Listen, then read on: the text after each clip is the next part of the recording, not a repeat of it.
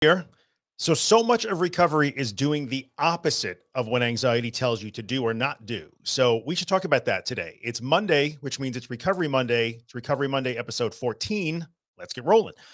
So, let us see who pops in. Everybody, as you show up, just let me know everything is working the way it should. It usually is. So, that's good.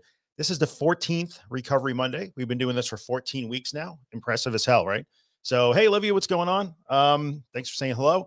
Just let me know that you're here. Let me know where you're from. Just a quick reminder we are teaching these lessons out of this book, this book every week, The Anxious Truth, which you can find on my website at theanxioustruth.com. All of my books and everything are there. So, if you do not have the book and you would like to follow along as we go, because each one of these uh, Recovery Monday lessons is just a lesson out of the book, directly out of the book. So, grab a copy if you don't have it.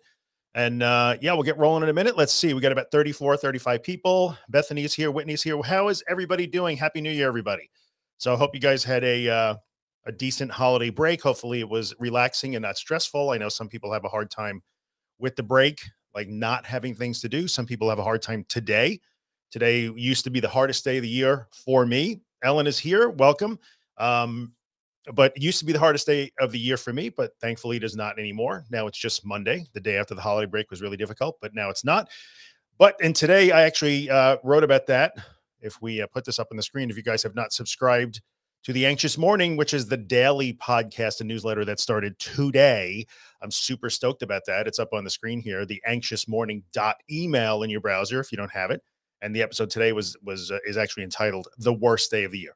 And it's about the uh, the anxiety of coming back after the holiday break. So let's get rolling. I'm going to put the chat overlay up on the screen so we can get cooking here. You guys can see what each other is saying. You talk to each other, and at some point we may have an extra little special surprise here today. I'm waiting to find out. So let's talk about doing the opposite and what that means. Um, anxiety is going to tell you to do a lot of things, right? It's going to tell you to not do a lot of things. And so much of recovery is based on taking the opposite action. So anxiety is going to tell you to stay home. When anxiety tells you to stay home, you should go out. When anxiety tells you to retreat, you should advance. When anxiety tells you to avoid, you should not. When anxiety tells you to not do certain things, you should do them instead. So, generally speaking, the process of recovery is and exposures really are the process of doing the opposite of what anxiety and fear are telling you to do or not do. So when anxiety is telling you to do something, generally speaking, the right answer is to go against that, do the opposite. When it's telling you to not do something, generally the correct thing to do is to, let's see. I'm ready. I'm sorry, I just have to respond to this. Uh, sorry. Um, I have to respond to this because that's that is actually our little our special guest that's coming on at the moment. So um, let me just email him. Check your email. Isn't this exciting watching me do this? Okay. So when anxiety is telling you to do a thing, you want to not do it. When anxiety is telling you to not do a thing, you want to do it. This is really difficult. So what is going on here is that this exposures are basically a systematic and incremental way to practice doing the opposite of what anxiety is telling you to do and fear is telling you to do to stay safe because your anxiety and your fear response is other oh, the pauses they're the best part of the show right? They really are like the awkward pauses. Um, anxiety and fear and an anxiety disorder there that's just your brain thinking that it's doing you a favor. Your brain is trying to keep you safe from a threat that it somehow thinks is there that we all know is really not. It feels like it is but it's not. And so it's telling you to do things or not do things to try to keep you safe from that threat and as you go through the process of going toward those things that you fear, you're literally confronting that threat that your brain says is there. And when you do the opposite, so when anxiety says, Oh, you better not go out, and you do, you send the signal back down to your brain like, You were wrong. You were wrong. Like, I, I can actually do the things you tell me not to do, and I can do the things that you tell me not to do. So, so much of anxiety, and that's why we say it's counterintuitive, is doing the opposite because anxiety is going to tell you to do certain things or not do certain things. And your gut, like your intuition, will feel like you should listen to that. So that's one of the like hideous or the insidious things about this is that when anxiety gives you those commands, it will your brain will interpret them and your and you will interpret them emotionally as this is just like a gut feeling that I should follow this. Like it doesn't feel right to go out. It's telling me that this something is wrong. And you hear about this stuff all the time, right? Like I is anxiety telling me that something is wrong? And that's sometimes mental health advice that you see that doesn't necessarily apply to folks in our situation where people will say, well, your anxiety is, is sending you a message. It's telling you something. It's telling you that something needs your attention. But in our situation, that's not true. It's insisting that something needs your attention, but it doesn't. It doesn't need, nothing needs your attention. So we do the opposite. We act against those impulses and what we think is, is a gut feeling. And we act against those gut feelings to learn again and again and again experientially that it's wrong. It's always wrong. It's always wrong. So I always go back to if you're if you're a Seinfeld fan, I always go back to George Costanza and Sein, Seinfeld, and he had there was an episode where he decides to do the opposite, like his life is falling apart, and he just says, I think uh, Jerry says, "Hey, you know, if you're," he says, "Every instinct I've ever had in my life is wrong." So Jerry says, "Well, if every instinct you've ever had in your life is wrong, then doing the opposite would have to be right." And, and so he starts to do the opposite, and his life takes off, becomes amazing, and that's what recovery is all about. So, oh well, let's see what we got going on here. We got a thing happening. I can't hear you, brother. Can't hear you. Technology, man. Let's see if Josh gets it together. just, I can't hear you. Can you hear me? Yeah, I just can't. I just can't hear you. Uh, but yeah, so let's see if Josh can. Yep, let's see if Josh can get that together. But yes, Bizarro. Yes, there Bizarro. he is. Bonsoir. Yeah, we got it. We got an echo though. Yeah, we got it. We got an echo though. Oh, for God, can't get it right, can we? No, we can't get it right. It's all right. No, we can't get anyway. it right. Welcome, dude. Anyway. Welcome, dude. Hi. Is it too echoey? Is it beyond? Is it beyond saving? Yeah, it's pretty echoey. Yeah, Headphones, pretty earbuds. Echoey. Headphones or earbuds. I will join. Got it. Anytime. We're gonna lose Josh, but he'll come back. Uh, anyway, so yeah, Josh is is isolating in the UK right now, and he's uh, you know doing that whole thing. So I'm like, hey, come on down. Uh, so yeah, he'll be back in a second. He's to find some some headphones. So yes, I was really inspired by the George Costanza thing to write a blog post many many years ago called "Do the Opposite," and that has become integrated into almost all the stuff that I do. And it's actually a whole lesson in the anxious truth about doing the opposite. Now, let me just clarify that. So doing the opposite doesn't mean so when I say anxiety tells you to stay home, you should go out. Anxiety tells you to not eat that peanut because maybe you just magically developed an alert an allergy to it. You've never been allergic for 42 years, but now you might be allergic today. You eat the peanut. We do that systematically and incrementally. We do. So it's not like you could just decide, oh, anxiety told me to not go on vacation and I'm going to get on a plane and fly 6,000 miles away for two weeks by myself. That wouldn't be your first move. We're going to go incrementally toward doing the opposite. Nonetheless, we are disobeying that command that says you better do this thing to stay safe. Yeah, it's better. I don't think I hear myself. Oh, well, we'll just have, we'll just have to put up with it. no, it's good. I, no, you're good. No more echo. Excellent. Brilliant. Anyway. How you doing? I was looking for the anxious truth, uh, not the dot anxious dot truth, just, just the anxious. A bit awkwardly, but this will do. That's some other guy. Uh, somebody had that already, so I don't know who he is, but he's got a lot of followers. I think by accident. uh, anyway, so he's a fraud. He's a fraud. Happy New Year. Yep. So we're talking about doing the opposite. For those of you who don't know, I cannot imagine you guys don't know because he's his audience is like 10 times the size of mine. But uh, Josh Fletcher joining us from the UK. Psychotherapist Joshua Fletcher, Anxiety Josh on Instagram. Yes. That was uh, my sign for peak for psychotherapist. Yeah, very good. Very good. We're, today we're talking about doing the opposite. Like when anxiety tells you to do to th- do a thing, generally speaking, part of recovery is learning to do exactly the opposite of what it tells you you're supposed to be doing or not doing.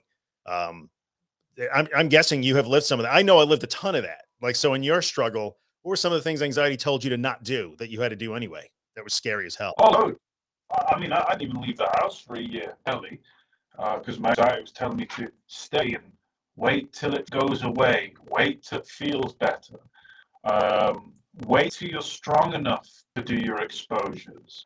Um, maybe not today because you're not 100%, uh, why don't you look for contingencies, escape routes, escape plans, a safe person, a safe route out to your safe space? If you go for a walk, make sure you take a safe person. Make sure that you only go a certain distance from your car or your home. Oh, I remember loads of them. Uh, don't go anywhere without your bottle of water, your bag of sweets, just in case you have blood sugary symptoms and it makes you panic. Um, don't oh, endless stuff. Like and that's even before I came to psychotherapy. And I was just like, kind of, yeah, well, I've got to stop doing these things because anxiety is trying to protect you, but like an over enthusiastic, overprotective parent, maybe, you never get to learn that you can deal with the uncertainty yourself. So do the opposite. I'm luckily I'm really good at doing the opposite of what people tell me to because I am petulant and childish. But it's really good when you want to apply that to your anxiety. I can confirm this, by the way. I'll confirm that. Um, I, I love that. Like anxiety is like a here in the U.S. we have a term called helicopter parents. I don't know if I don't know if you got the yeah yeah helicopter. Oh yeah, just yeah. constantly yeah uh, yeah orbiting in circle. Yeah yeah yeah. So anxiety is like one massive helicopter parent. That's exactly what it is. Like just it'll load you up with restrictions and rules and things that you're supposed to do and not do and, and be careful. And there's always a be careful that goes on top of all of that. And so in a way, like doing the opposite as part of recovery is not only the way to learn that, like, oh, I don't, I don't have to be careful, like at an excessive level, I can handle this stuff, but also like, man, all these rules are just not required. I don't have to overthink so much of life this way. I can just organically live my life. So doing the opposite is hard because it's scary. You're you're going against that that protective signal. I was before you came on, I was talking about how it feels like like a gut feeling, intuition. It feels wrong to like do the opposite and go against it, almost reckless or dangerous. I talked about a lot of the mental health advice that you see out there that doesn't apply to us, which is your anxiety is trying to tell you something. How often have you heard that message, like in the online mental health community? Your anxiety has wisdom. It's trying to tell you something. Is it really? Yeah. Keep going, Drew. I'm going to find a headset and put that because I think a couple of people are struggling to hear me. You yeah. Carry on, and I will rejoin with my head. Yeah. Yep. You got it.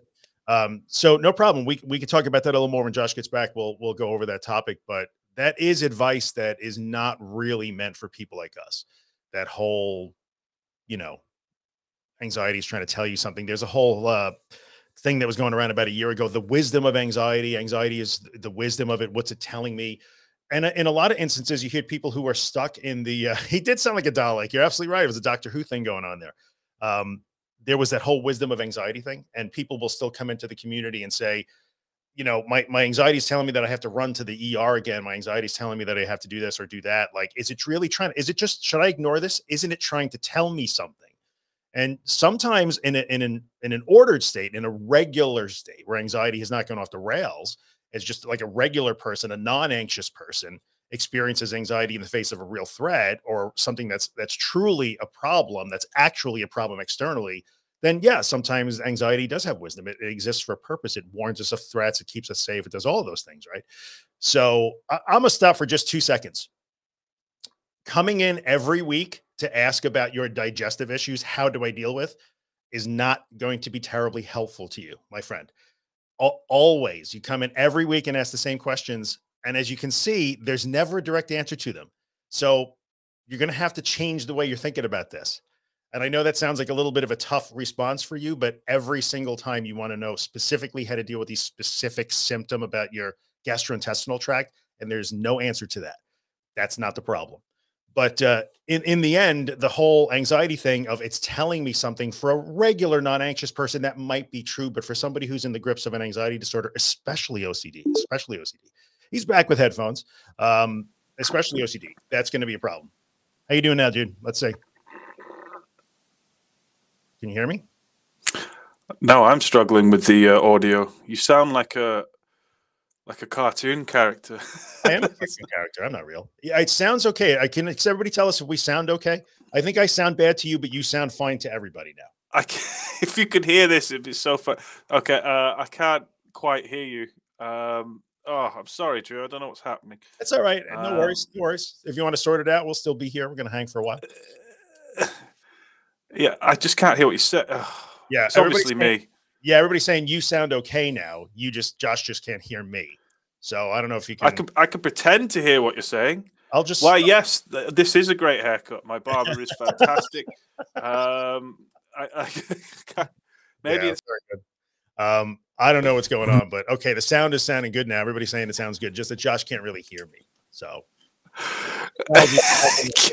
sorry, guys. Right. Um, right. Yeah. I don't know. Um, Give just me, so- give me one more chance. Sorry, Yes. I'm ruining your stream. You're not ruining the stream. Um, where are we going to be? I'm glad people can hear me. That's good, but I can't hear Drew. You sound like um, Tweety Pie in the head, but I can't quite hear what it is. Wow. Okay. Well, that's not anything I've ever been accused of sounding like, but okay. Um, so Josh will be back. Let's start taking some questions here. Well, might as well go through that. So I will go through some of the uh, the comments here and let's see what we come up with. Thank you guys for for dealing with the sound. I appreciate it. Sometimes technology doesn't work out so well. So let's take a couple of things here. No, no, no, no, no. Uh, depression and anxiety have a tough time with the feelings of heaviness. Do I treat it? Let me bring this up on the screen real quick. This invariably comes up. I'm going to answer this question really quick while we wait for Josh to come back. Uh, this comes up quite often. Uh, do I treat it like anxiety? I, I can't really give you specific advice about how to deal with your specific situation because I can't diagnose you over the internet. But um, the way you anxiety is uh, depression is treated a little bit differently in that you never want to look at the thing as like, well, this is a float and accept. it. No, sorry, dude. It's not. I can't hear you. I don't know what's going on. It, well, I can hear you, but Yeah. it's just not coming through. It's like it's, it's just it's muffled. Yeah. Uh, sorry, everyone. Uh, All right, I was try. about to reveal to you the great secret of overcoming anxiety, but because Drew's audio doesn't work, doesn't work out. so This is live. hey, we tried. We'll try it again next week, maybe. We'll see. And now he's gone. Now we can't hear you anymore. Sorry, man. Um. Anyway, Josh is gone. We'll try it again next week. We tried. Uh, anyway, to finish answering the question, uh, it the depression is a little bit different because people sometimes think, well, I just have to sit with it, and most therapists will tell you, no, no, no. Like you don't want to just sit with it. You actually going to have a, you know, you're going to go toward it a little bit. You got to behavioral activate. You're really trying to challenge those things, even when you don't. Like even when you don't feel like doing it. Um, so, Marge, it's it's very generic advice, but uh, what I would tell you specifically, you know, or especially to take to heart, is that it's not a passive process. Most therapists that are treating your anxiety will make you get up and move, will make you engage, even in very small doses. That's important. You don't just sit passively and wait for it to get better. That's that's it's not like that at all. So there you go. Um, let's keep going through here. Coming back again. I don't know. Um, let's see here. So I'm going to keep going. I'm going to keep going here. Oh, this is a good question. I'm sorry I can't see your names, Facebook user. Uh, that means you're in my Facebook group, and Restream doesn't show me your name. I wonder if our ancestors a hundred years ago. Um, well, if we go back thousands of years ago, yes, human beings dealt with this since the dawn of human beings. It's pretty. I, I think it's probably pretty certain to say that. It's not like the biology underneath this is brand new. It's been evolving for a very, very, very long time on planet Earth. So, how did people deal with this stuff? Say, you know, thousands of years ago. I often wonder that. Like primitive man had the same responses that we have. But if you go back 100, 150 years, not even 100 years ago, 85, 60, 70, 80, 90 years ago, how did they deal with this stuff? Not well, like not well. Uh, they diagnosed people with things like hysteria, and women had fainting couches, and it was called housewives' disease. And there was all kinds of crazy stuff going on back then. So, how did they deal with it? Not so well. I mean, we- but you know what? I mean, look, they didn't really know a lot. So, you got to cut them a little break. But that was not that was not really easy. You know, uh, there was the, the technology for research wasn't there, the knowledge base wasn't there. We are just in the beginning of a lot of this stuff. You go back to the early part of the 1900s, psychology was really kind of a very beginning thing at that point. So yeah, it was really attributed to a lot of stuff. If you go back even further than that, sometimes it was attributed to to demonic possession, and there was all kinds of crazy stuff going on. So in a way, while we still don't know enough, imagine if you had lived back then, right? So that sucks. Uh, but good question. So let's see. I'm going to keep going through here. Uh, no, no, no, no, no, no. Okay, so this is let's bring this back to the topic of doing the opposite. I'll put Allison up on the screen. Hey, Allison, thanks for coming by. Uh, my anxiety and agoraphobia is very, very bad. So hard to do anything at all, especially since I've worked from home all year and have everything delivered. This is actually pretty. Um, it's actually pretty common, right? So it's a very common thing. The, the pandemic changed habits, and a lot of people wind up staying home, and it's cemented that belief that like I'm good in my little cocoon in my safe place. So essentially, Allison, to bring this back to like the point, and for everybody watching, the point of today's topic of doing the opposite, you're having a hard time with this stuff and having everything delivered, and I should have everything delivered, and I shouldn't go out, and I'm supposed to stay him, and I'm mm-hmm. only safe. Well, let's see. We're gonna give him one more shot. I'll give him another shot at it. Let's see. let's see. Sorry, bring it back on. There we go. Oh, come on, man. Hello? All right, here we go. Here we go. Now I hear you. Can you hear me? Yes. All So- right. Yeah, there you go. We're cooking. So I, I was just taking some questions here. We had somebody um, who was talking about how her, her agoraphobia has gotten worse over the course of the pandemic, staying home, having everything delivered. And I was going to relate that to the doing the opposite thing. So in that situation, how does doing the opposite relate to like my agoraphobia has been cemented by lockdowns? What do I do now? Um, we got acknowledge that over the last two two years, um, our brains have been conditioned to think that things outside are dangerous, uh, and and they have, to be honest. You know, th- th- there's a dangerous virus knocking around. Now, to the anxious brain of an agoraphobic, oh, it's amazing, isn't it? What an excuse! Lovely. I don't need to go outside. There's a virus outside. Well, to an extent, yeah, you know, be considerate. Use your anxiety to your advantage when there's a virus outside. And that's what anxiety is there for. When I'm in the supermarket and I'm anxious because there's people near me, um, I like that. That's cool. It makes me, I, am not complacent. I don't want to go near people. I don't want to put people at risk. I don't want to do all these things. But if I'm an agoraphobe um, and I'm using that as an excuse to which I know a lot of people do. Like, oh, well, I'll do it when the pandemic's over. Yeah. So, but, but you don't because you can do things around that. You know, the, the anxiety saying, see, you know, stay inside, stay safe. There's nothing unsafe about walking through a park. There's nothing unsafe about going driving in your car. Yeah. There's nothing unsafe about kind of planned, meticulously planned, um, risk assessed kind of exposures. Uh, and so have a go at that. Try not to use it uh, as that and do the opposite of what your brain says. Yeah. Um, but not all the time. You know, actually, if you're if you're in the supermarket and and the brain's saying stay away from that person, listen to it. Yeah, you know? yeah, yeah. But but if you're outside going, oh, go home because you're because you might panic, then no, don't listen to it. Do the opposite. Yeah, I think the other thing that happened too during the pandemic that cemented a lot of that stuff, which isn't isn't so much an opposite thing, but it's just a good illustration of the distortion and magnification machine that that is disordered anxiety, which is like you know, COVID nineteen is was a real threat. There's no doubt about that. It still is. It, it's a it could be a dangerous virus for a lot of people. Like uh, we get that. That's real. But your anxiety will turn that into it's literally standing at your front door with a loaded rifle, just waiting to shoot you in the face the minute you open the door, which is not true. So, yes, there is a real threat that needs to be assessed and managed to a certain extent, but turning it into I've already projected my whole family getting COVID 19 and dying, that's not required because that's that's not necessarily realistic. So we have to recognize that as well. Um, mm, mm. Yeah, yeah, yeah, absolutely. All right, let's keep rolling here. We got a ton of comments in these. I can't take them all. I wish, guys, but I just can't. Um, oh, let's put this up. Here's a good OCD question. Josh, you can take this one, which is come on, put it up on the screen. I supposedly did. Do you think? Hey, Drew. Tips for recovery, like doing the opposite uh, even when anxious, applies to OCD as well. How would you? Oh, absolutely. Oh, it definitely applies to OCD. If you got OCD, you your rational brain knows ninety nine percent that this thought is absurd. But as what was really interesting, I saw a documentary on a, a brain scan of people with OCD. Your whole like brain lights up when you have these thoughts, so it feels real. So you know the absurdity and the probability of this thought is is ridiculous rationally. But when it feels real, you want 100% certainty that that thought and the catastrophic consequences of that thought do not come true. And so the three magic words that we always avoid, and this is agoraphobia, agoraphobia, or OCD, if your brain suggests to you, do this just in case, tell it to get lost. Just in case what? You know, yeah. I'm going to ruminate. People with OCD, they love to ruminate. I'm going to ruminate just in case I miss something. I'm going to put in this safety behavior just in case that scenario comes true.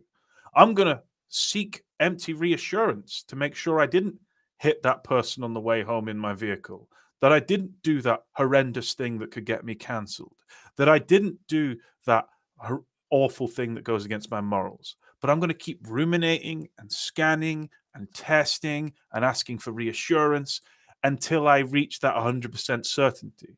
But as we know, nothing in life is 100% certain except death and James Corden. And that's the only thing that we're going to put up with. James Corden, he goes above taxes. In the US, is death and taxes. You guys have James Corden. I guess a different animal. Maybe No, you have James Corden. We gave you James Corden, and you can keep him. so I so I'm told. Good good answer. Definitely good answer. Let's throw another question up on the screen real quick, which is uh Lily asks, is it not okay then? Restream was clearly like a little bit wonky today. Uh it's slow. Is it is it not great recommended to bring coping technique stuff like water or gum?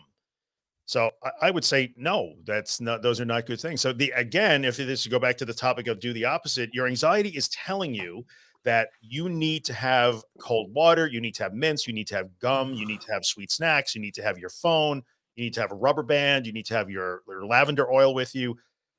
Because if you get into trouble, then these things is what you use to get out of trouble. But doing the opposite would be no, I'm going to leave those things behind because I'm not actually in trouble.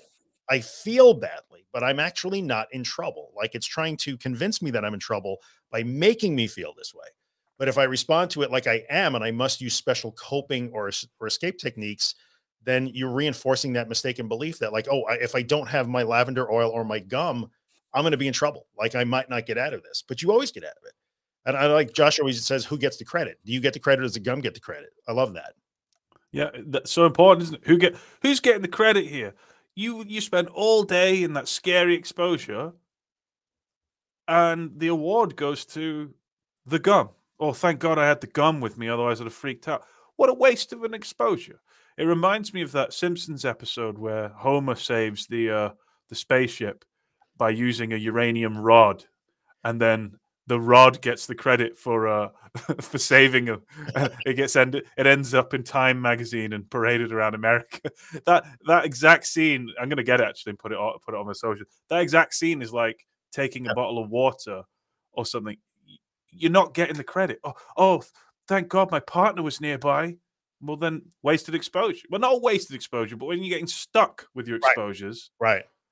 you need to start getting the credit. So it's 100% you. My last final exposure when I was in therapy was I got dropped off at the bottom of a hill, no water. I didn't have any breakfast, didn't have anything to eat. And I walked up a hill on my own, no mobile phone. Oh, but what if my brain's like, oh, but what if you freak out and need help? I'm not in danger, like Drew says. And I walked to the top of the hill.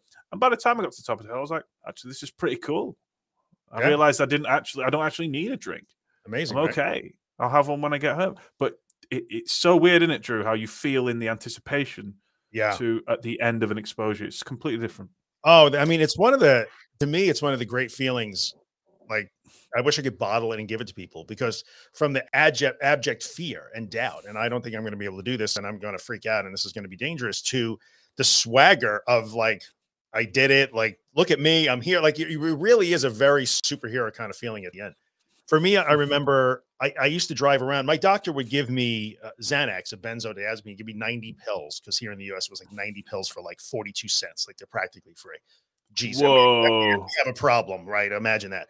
So he would get write me a prescription for 90 of them. And a year later, I would have 89 and a half of them still in there because I was just stubborn. And I, I'm not claiming moral high ground here. It's just the story, right?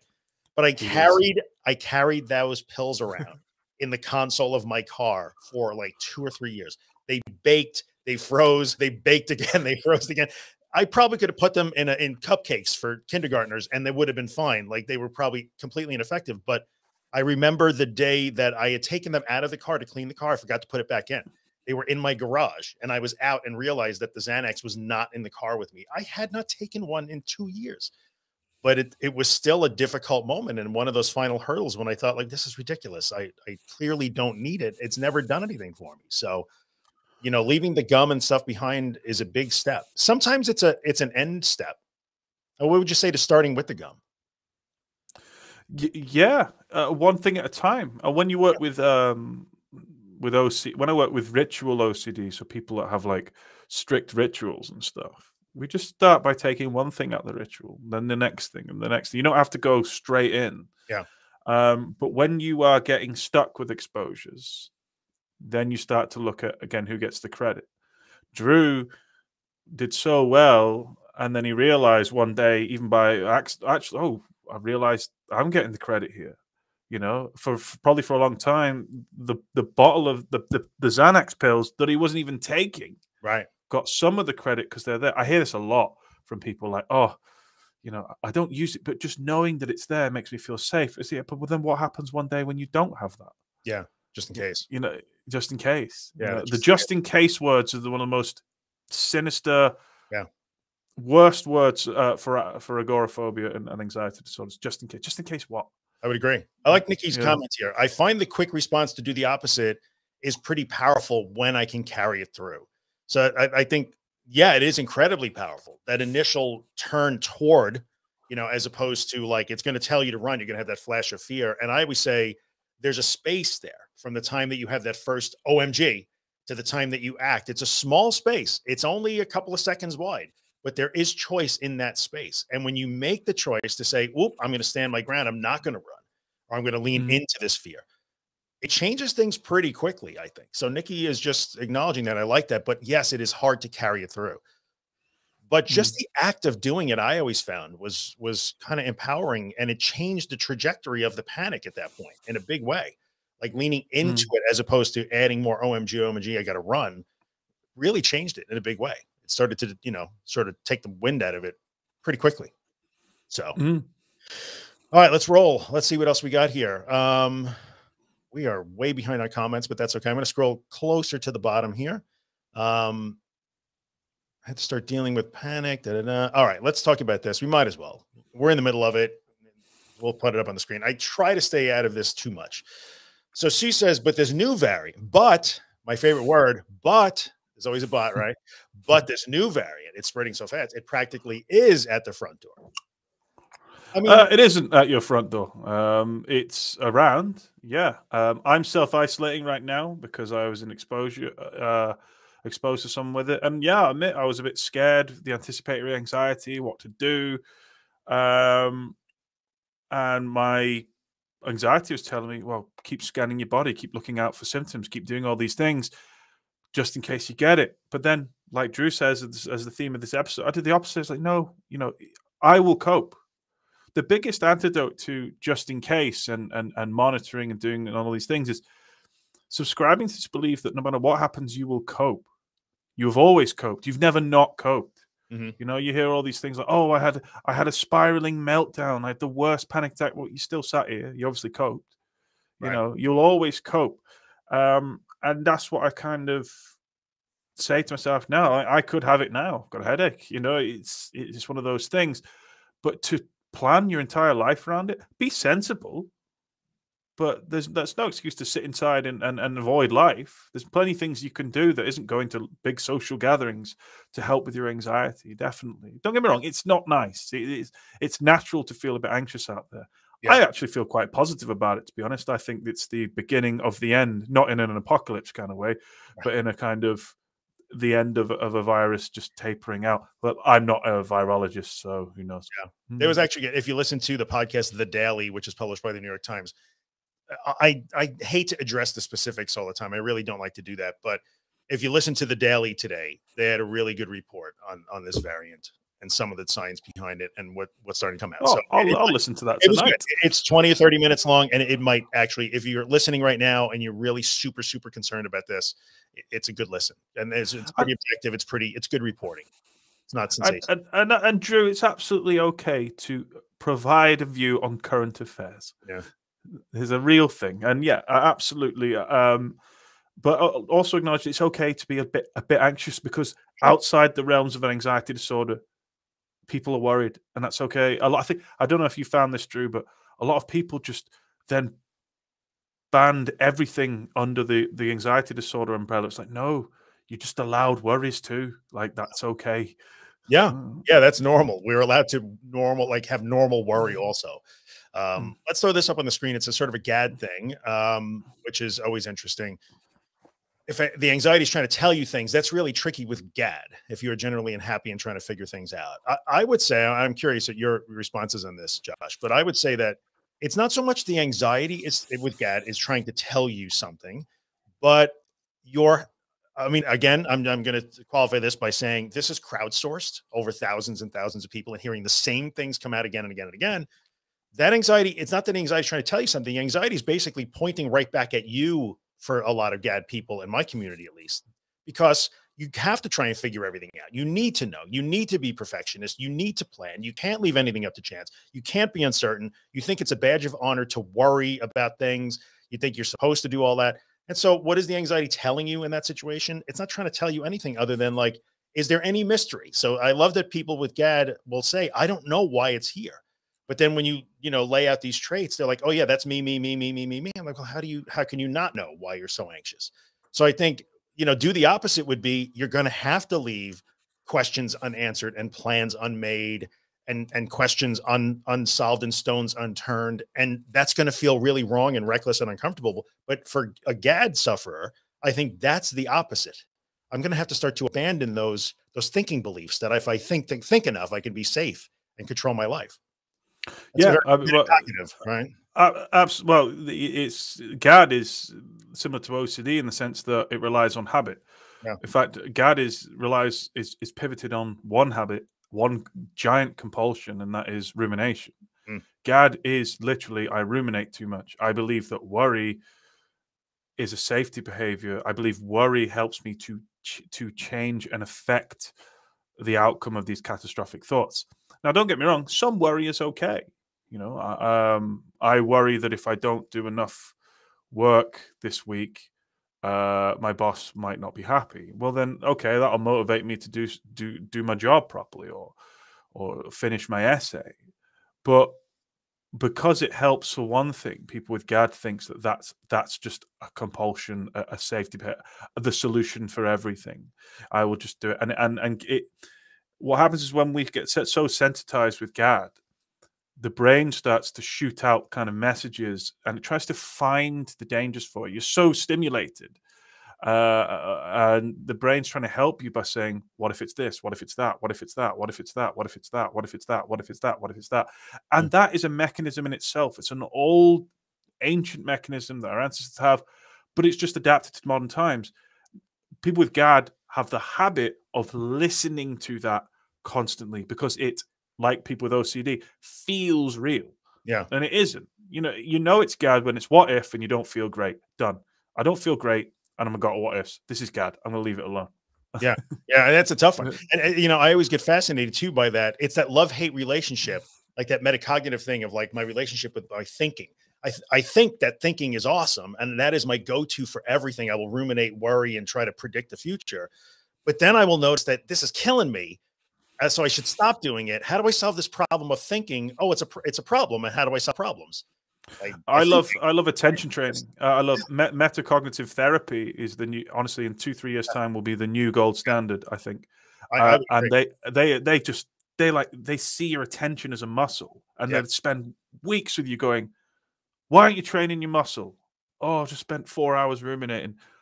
Focus on these points don't force it. It's not a compul. It's not this, but you got to you got to make it more elastic. Um, yeah. I, I've I've struggled with GAD for years, and I realized a lot of it. And it's similar to you, Drew. I, I still have your voice in my head sometimes. It's like when you describe doing exposures first thing in the morning with that immediacy. I do that with GAD, whereas like as soon as I catch myself in GAD, it's like, nope, nope, yeah, yep, nope, not doing that. Yeah. But that took time to get there where you could catch mm. that right away. Mm. That I'm sure that wasn't necessarily, you know, automatic. That took time and work. Yeah. Absolutely. So that's to do the opposite in GAD is essentially like you're gonna have to leave stuff unthought about, which is feels so wrong to do for most of you. Unthunk. You have to. Yeah, I mean, look, we don't get to control what we think. I get that, but you know, questions unanswered and plans unmade and worries unaddressed those are hard things for people with generalized anxiety disorder. I could see. Um, mm. But we'll take a couple more and then we'll sort of wrap it up because we're getting near the 40 minute mark. So well, we can hang out all day if you guys want to. I mean, I don't care. But let's see. Is it part of the process that before and during the exposure, the sensations are there and the what ifs, but then after the exposures, the sensations sensations heighten and grow more and more? That after the exposure, like there's that after effect. Is it part of the process that before? Let's put that question up again. Yep, I'm trying. It's just super slow. Like it's laggy putting it up and down. Is it part of the process that before and during the exposure that the sensations are there and the what ifs? Right. But I'm then after the exposure, the sensations heighten and grow more and more. Even though she successfully, I can sort of translate. Jade is in my Facebook group. So the the the question is after the the exposure is over. I know what she's at. She's basically asking after the exposure is over, isn't it that all supposed to go away? It didn't go away. So It doesn't up- sound like the exposure's over. Thank you. it doesn't sound like it at all. It sounds like you've you've decided you want the exposure to be over and gone home, and then uh, so go. Who's got the credit? Well, you being in your house because that's when the anxiety is going to end eventually. And yeah, you're going to feel really uncomfortable, but you might as well do that wherever you were. Yeah. Keep going until you're calmer. Or, you know, or. Or if it's if you're not calm at home, then that's fine. It means the exposure isn't over at home. So yeah, this is, I think, a, a mistargeting that says, well, the exposure was the restaurant, or the exposure was the supermarket, or the exposure was the trip to the zoo. No, no, no. The exposure is to the sensations and the discomfort and the fear. So wherever that happens to be is the exposure. And if that means that you're still feeling that when you get back home or after you leave the restaurant or whatever it happens to be, well, the exposure isn't open, isn't isn't over. So it's like, well, okay, I still feel this way. I'm going to have to just allow this, as opposed to, well, I left the restaurant, it should go away now, and it hasn't. OMG. Okay, so mm. you were in the store even after you leave, even though I was in the store. so Jade is adding to that. Yes, so the exposure isn't ASDA.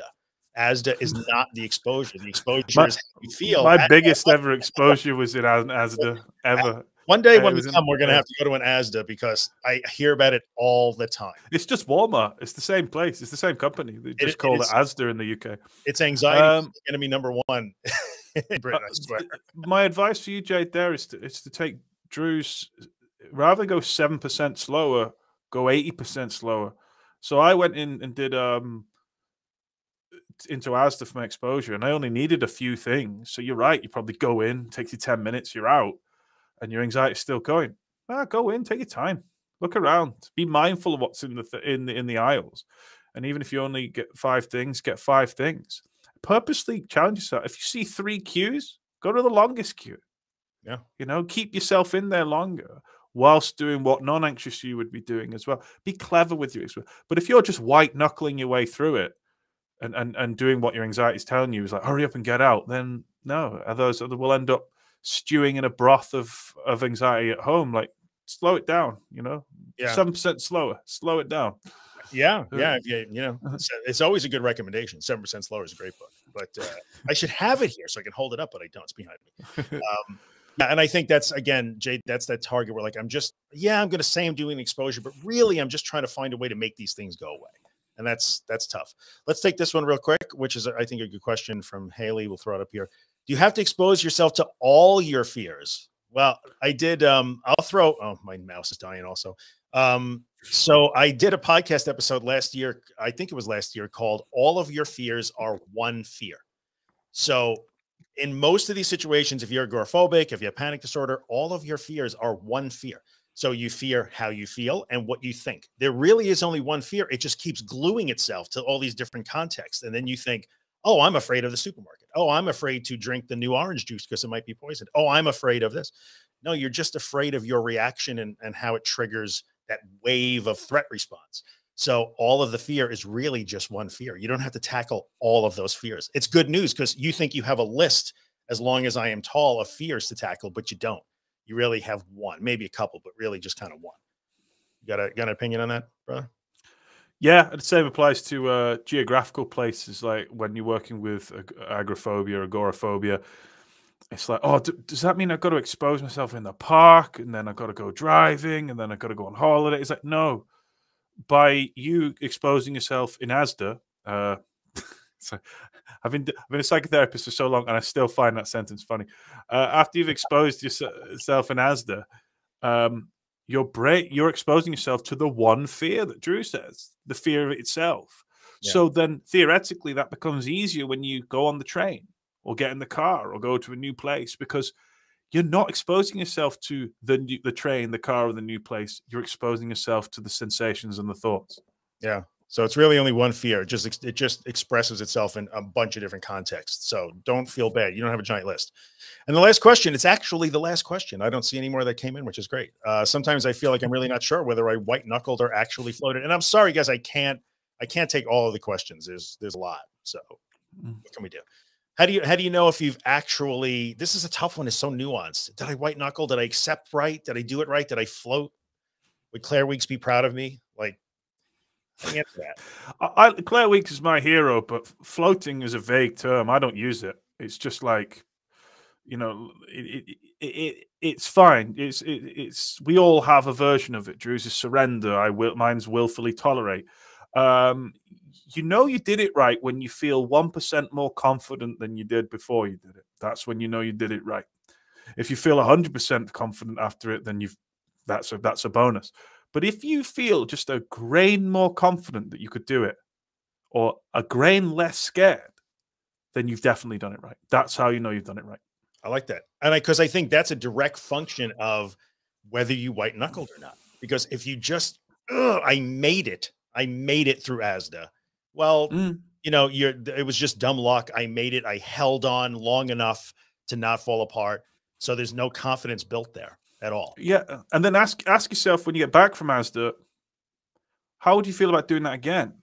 Now the answer isn't shouldn't be great, I'm over my anxiety disorder. It should right. be actually, I probably feel a little bit more confident. And that's why I ask my clients all the time when we check in. I say, but would you feel more confident? And they're like, actually, honestly, yeah.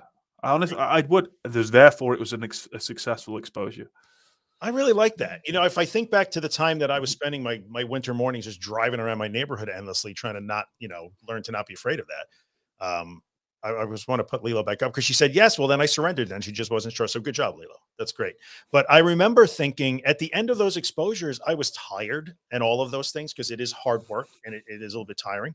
But it always at the end of an exposure, I always felt like I could get back in the car again. It felt easier to go right out again after. That's why, and then again in this book, I write about a thing that I call the morning effect, which is do your exposures in the morning if you can. I'm off screen, but there you go. Um, and I'm lagging also, but that's okay. But do your exposures in the morning because it sets you up. And after those exposures, I would feel like everything else was a little bit easier. So that's good. Yeah. That's good advice. All right, guys. I'm sorry that we had some technical problems, but in the end, it worked out really well. Josh, I appreciate you coming by and like hanging out. Thanks for inviting me on. Open um, you want to come on. Yeah, I might do an Instagram live later if you're about. Feel free to drop in. Oh, sure. Um, say hello. Uh, I'm just going to take questions from the general public, get them on camera. Um, you know, and uh, just I like I like doing those open Q and A's. They're quite fun. It's always um, exciting yeah, it's always so scary because you don't know who's going to come on. Like someone's like, but but butchering an animal, while you're like, whoa. I get fast. Anyway, all right, guys, this is going to stay. What do I have to tell you before I go? How do we find Josh? Everybody knows how to find Josh at Anxiety Josh on Instagram, right? Yeah, that's Anxiety Josh. There you go. Or yeah. Joshua Fletcher. Hey, by the way, I saw your picture yesterday. You're right. Uh, how's how's the new uh how's the new work coming along? Shit your therapist is thinking of. Shit your therapist thinking is good. I like it. I like it. It's going. It, I might get struck off the register when I release it, but I don't care because it's going to be good. It's blowing uh, the lid off the therapy game, man. Yeah, I'll send it to you. I've only written five thousand words, but I'm pretty happy with it. See how you think. Yeah, very cool. Very cool. Um, what else can I tell you guys? If you don't have, we'll be back again next Monday. We do these every Monday until I run out of chapters in this book, which is going to take us all the way through the spring. Uh, we do a lesson a week. Next week, we're going to do, I don't even know we're doing next week. To do the opposite. Next week will be changing your focus, paying attention. So that would be a good one. Yeah. So we'll see you again next week. If you don't have the book, go to my website, the, uh, which is at theanxioustruth.com and you can grab it. And if you didn't sign up for the new daily newsletter and podcast, which we are rocking it, I think we're going to hit 3,000 people today. I'm super excited about that. Um, That's really cool. Oh, I got to tell you flat out, I'm going to give you a, just a quick plug for this. I'll put it up on the screen. It's the anxiousmorning.email of all the stuff I have done, and I have produced a lot of words and spoken into a lot of microphones and cameras, this is the best stuff. This is the best work I have produced to this point. So go check it out, and it's freaking free. So there's no excuse. The anxious morning email. The action morning, yeah, every morning. It uh, it's a it's an email newsletter with a podcast attached to it. That's three to four minutes. Teaches a little lesson. I already have all of every January morning, every weekday morning all of January is already produced and just firing out at 3 a.m. New York time. So this is this is what I've wanted to do for such a long time, and it's it's going over really well. So go get it. That's really cool. yeah, psyched. All right, peeps. See you guys next week. Come back. We're out.